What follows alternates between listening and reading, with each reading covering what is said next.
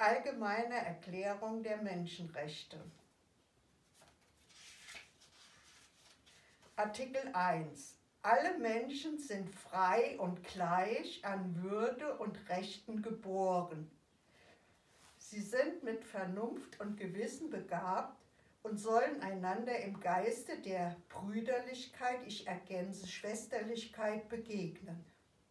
Artikel 2. Jeder Mensch hat Anspruch auf die in dieser Erklärung verkündeten Rechten, Rechte und Freiheiten ohne irgendeine Unterscheidung, wie etwa nach Rasse, Farbe, Geschlecht, Sprache, Religion, politischer oder sonstiger Überzeugung, nationaler oder sozialer Herkunft, nach Eigentum, Geburt oder sonstigen Umständen. Weiteres darf keine Unterscheidung gemacht werden aufgrund der politischen, rechtlichen oder internationalen Stellung des Landes oder Gebietes, dem eine Person angehört, ohne Rücksicht darauf, ob es unabhängig ist, unter Treuhandschaft steht, keine Selbstregierung besitzt oder irgendeiner anderen Beschränkung seiner Souveränität unterworfen ist. Artikel 3 jeder Mensch hat das Recht auf Leben, Freiheit und Sicherheit der Person. Artikel 4. Niemand darf in Sklaverei oder Leibeigenschaft gehalten werden. Sklaverei und Sklavenhandel sind in allen Formen verboten. Artikel 5.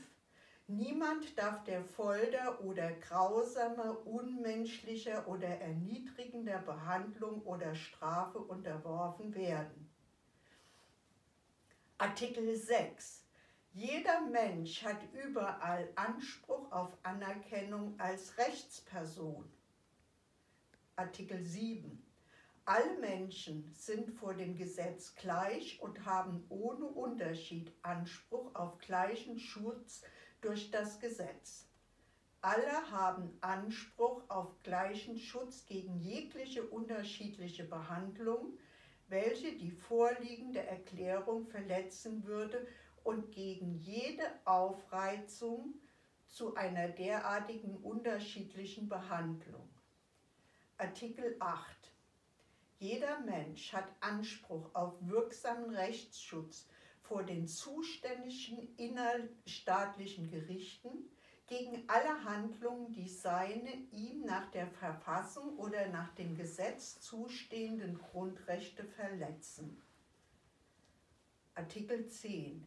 Niemand darf willkürlich festgenommen, in Haft gehalten oder des Landes verwiesen werden.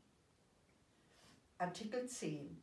Jeder Mensch hat in voller Gleichberechtigung Anspruch auf ein der Billigkeit entsprechendes und öffentliches Verfahren vor einem unabhängigen und unparteiischen Gericht, das über seine Rechte und Verpflichtungen oder über irgendeine gegen ihn erhobene strafrechtliche Beschuldigung zu entscheiden hat. Diese Menschenrechte sind Grundlage unserer Verfassung, unserer Grundrechte. Deshalb fordere ich jetzt die Einsetzung unseres Grundgesetzes auch in Krisenzeiten. Grundrechte heißen deshalb Grundrechte, weil sie immer gelten.